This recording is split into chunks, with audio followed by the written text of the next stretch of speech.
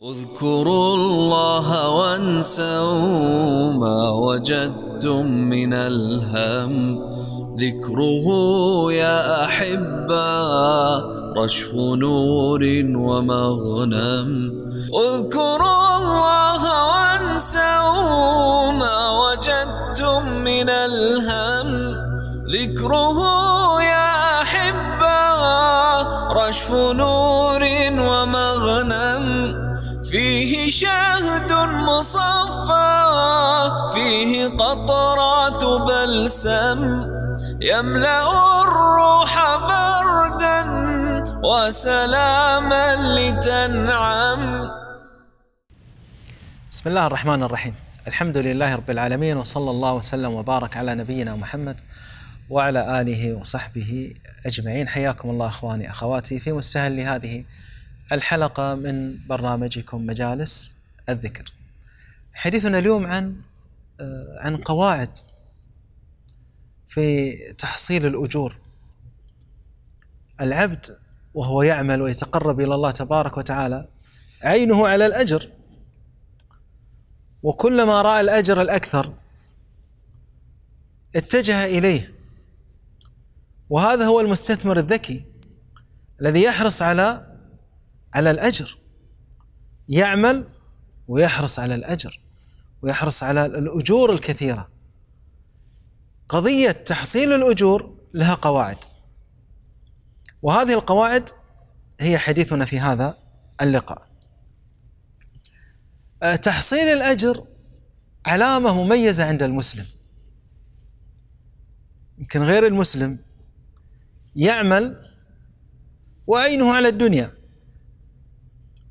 ولكن أنت أيها المسلم عينك على الآخرة وعلى الدنيا.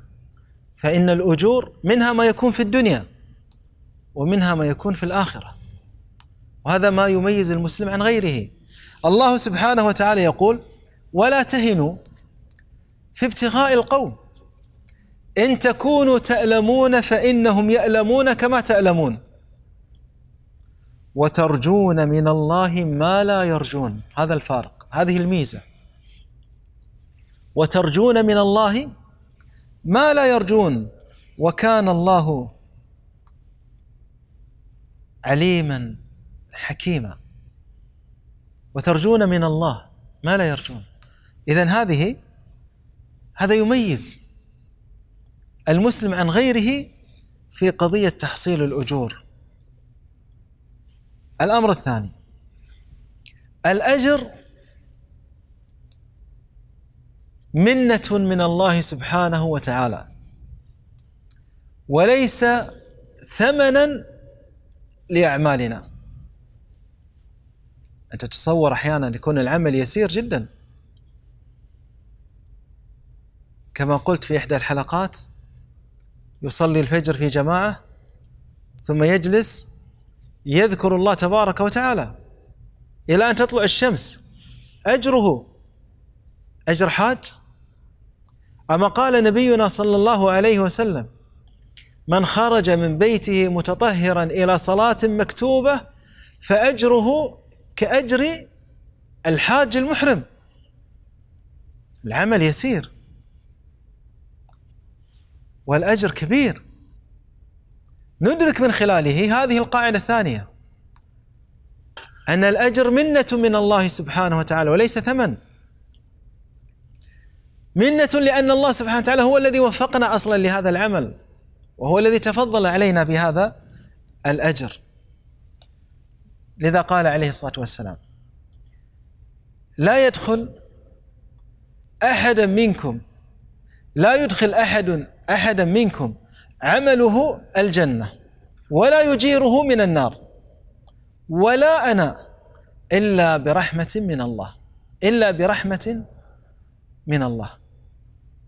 وبالتالي هذه القاعدة مهمة أن لا أن لا يغتر الإنسان بعمله.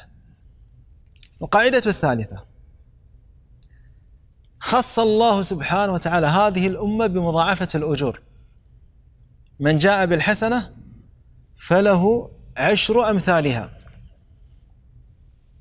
ومن جاء بالسيئة فلا يجزى إلا مثلها. هذه خاصية في هذه الأمة وميزة في هذه الأمة. يقول سبحانه وتعالى مثل الذين ينفقون أموالهم في سبيل الله كمثل حبة أنبتت سبع سنابل في كل سنبلة مئة حبة. والله يضاعف لمن يشاء والله واسع عليم. من قواعد تحصيل الأجور في في في وهي قاعدة مهمة أيضا أن الأجر لا يحصل إلا بالإخلاص. يعني العبرة ليست بالعمل وإنما العبرة بالإخلاص بما في القلب. إنسان يعمل عمل كثير ولكن نيته لغير الله. يأتي يوم القيامة ما يجد الأجر.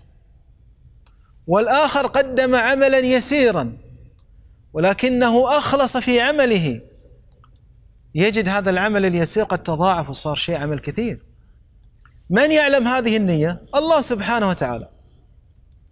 فلا تحمل هم يعني يتصور الإنسان ويتصور بعض الناس حينما نتحدث عن النية نتحدث عن شيء صعب. لا ما تحتاج إلى شيء صعب. ما تحتاج تقول يا رب هذه لك. الله سبحانه وتعالى يعلم. يعلم أن هذه له وأن هذا العمل لغيره. لذا أنصحكم إخواني أخواتي وأنصح نفسي. إذا عملنا عمل مما يتقرب به إلى الله. فلا نرجو شيئا من غيره سبحانه وتعالى. لا يكن رجاؤنا في أحد إلا الله سبحانه وتعالى. لا تنتظر ثناء من فلان ولا عطاء من فلان. ابدا. تعمل هذا العمل وأنت لا تنتظر أن يصفق لك الآخرين ولا أن يثني على عملك الآخرين ابدا. عينك على الأجر عند الله سبحانه وتعالى. إذا انحرفت هذه النية وقال الإنسان أعمل للناس ولله ذهب العمل. لأن الله سبحانه وتعالى لا يرضى بالشريك معه. فهو سبحانه وتعالى واحد. فرد صمد.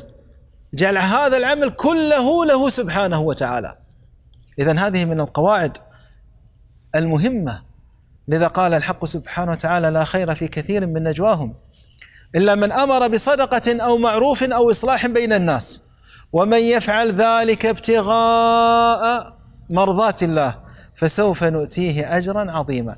هذا هو الذي نؤتيه اجرا عظيما الذي عمل لأجل الله تبارك وتعالى. من القواعد الجميلة أن الأجر لا ينقطع عن العامل عند عجزه. وهذه نقطة في غاية الأهمية. إذ الأجر لا ينقطع عن العامل عند عجزه. إنسان له عاده أن يصلي قائما. مرض صلى قاعدا يأخذ نفس الأجر. إنسان له عاده أن يصوم الاثنين والخميس. سنة سنتين ثلاث أربع. ثم مرض هذا الإنسان. أسأل الله أن يشفي جميع مرضى المسلمين. يكتب له الأجر. أن كل يوم اثنين ما صام لكن يكتب له أجر الصيام. لأنه إنما تركه لعجزه. لهذا يقول عليه الصلاة والسلام إذا مرض العبد أو سافر كتب له مثل ما كان يعمل مقيما صحيحا. ألا تشعر ألا تشعر بفضل الله سبحانه وتعالى؟ ألا تشعر بالسعادة؟ يقول عليه الصلاة والسلام إذا مرض العبد أو سافر كتب له مثل ما كان يعمل صحيحا مقيما. لما كان صحيح ومقيم كان يصلي كان يصوم كان يعطي ينفق صار فقير تكتب له الأجر. إذا العاقل هو الذي يتدبر هذه القواعد فإن معرفة هذه القواعد قواعد تحصيل الأجور لا شك أنها تشجع على العمل. أسأل الله تبارك وتعالى أن يكتب لي ولكم الأجر والثواب. إلى أن ألتقيكم بإذن الله تبارك وتعالى في حلقة قادمة. استودعكم الله. السلام عليكم ورحمة الله وبركاته. اذكروا الله وانسوا ما وجدتم من الهم. ذكره يا أحبا رشف نور ومغنم. اذكروا الله وانسوا ما وجدتم من الهم. ذكره يا أحبا رشف نور ومغنم. فيه شهد مصفى فيه قطرات بلسم. يملأ الروح بردا وسلاما لتنعم.